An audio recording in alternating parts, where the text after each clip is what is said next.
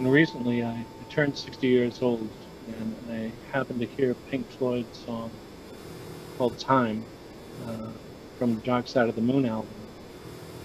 In it, the lyrics state, and you run and you run, catch up with the sun, but it's sinking, racing around to come up from behind you again. The sun is the same in a relative way, but you're older, shorter of breath, and one day closer to death. It's a pretty grim view of life when you think about it, but how many of us really hold on to that, right?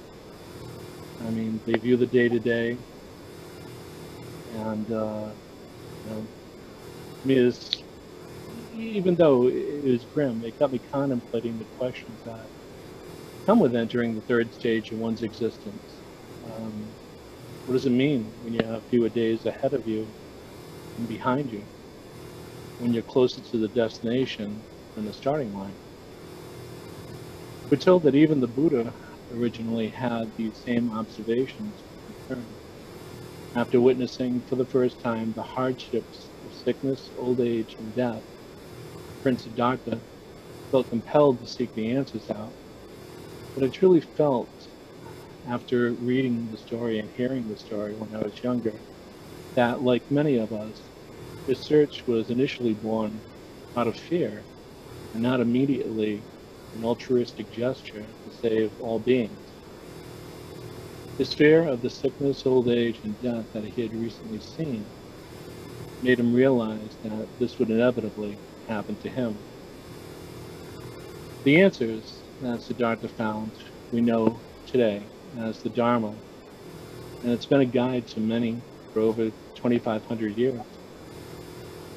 The Dharma's teaching help us to understand that how we perceive our life conditions often determines the level of our contentment. This includes our transitional ends as corporal beings. Centuries ago, and even nowadays in many parts of the world, there was and still is physical hardship, food scarcity, inadequate shelter, unstable social and political conditions.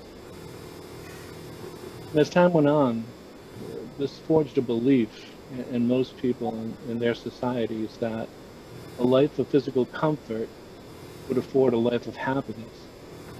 Many of us in America probably enjoy living conditions that significantly exceed that of the historical Buddha, Prince Siddhartha. Yet we seem distant from the elusive goal of bliss, ever focused on the past or future fears, missing out on the present now. Why do we still complain of our situation with all the comforts of a prince and more? How can living such a good life make us worried or fear that we are as impermanent as all the things that are around us? Buddhism's five remembrances are a reminder and a wake-up call just for this topic. Perfectly clear, compassionate, and concise five remembrances of Buddhism at its very best. First found in Ubhajjhatthana, excuse me, Ubhajjhatthana Sutra, aka Subjects for Contemplation. They are intended to be recited, memorized, and even said every day as a mantra. It goes like this. I am the nature to grow old. I cannot escape old age. I am the nature to get sick. I cannot escape sickness. I am of the nature to die. I cannot escape death. All that is dear to me and everyone I love are of the nature to change. There is no way to escape being separated from them. I inherit the results of my actions of body, speech, and mind.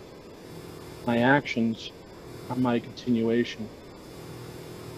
The first three lines are basically what drove Buddha to become the Buddha.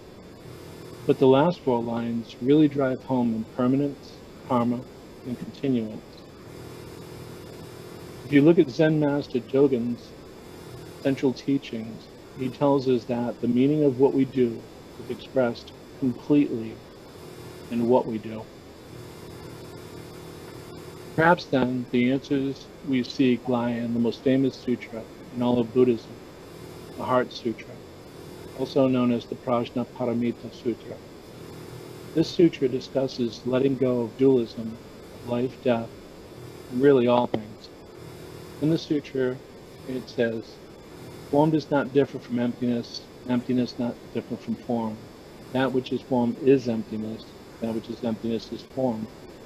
The same is true of feelings, perceptions, impulses, consciousness, pretty much everything, right? So Buddha life and Buddha death, Buddha summer and Buddha winter are just different expressions of the same thing.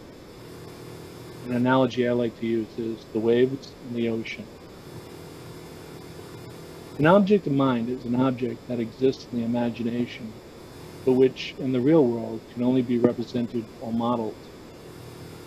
The Heart Sutra separates this mind and object of mind dualism further by stating no realm of eyes until no realm of mind consciousness, no ignorance, and also no extinction of it.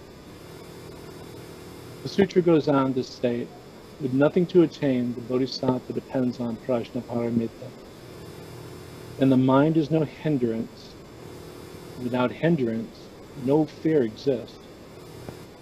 Far apart from every perverted view, we dwell already in nirvana.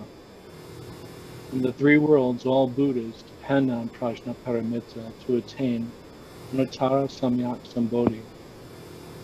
These last words translate to unsurpassed, complete, and perfect enlightenment. In other words, our fears are born and our desire to attain, attach, hold on to. And here's the kicker. We're already where we need to be, but we can't see where we are for all the distractions. Interesting. The sutra concludes with the goal of unsurpassed, complete, perfect enlightenment. So proclaim Prajnaparamita mantra, proclaim the mantra which says, Nathagate, Paragate, Parasamgate, Bodhisattva.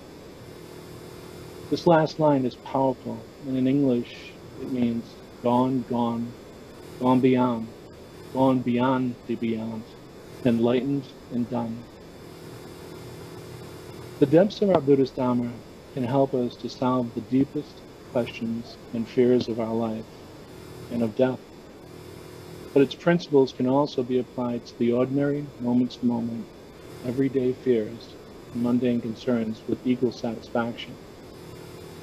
It is said that in order to know the path, you must become the path. For me, my journey is just starting, but not knowing that I'm already there, I will continue to seek the way. Thank you.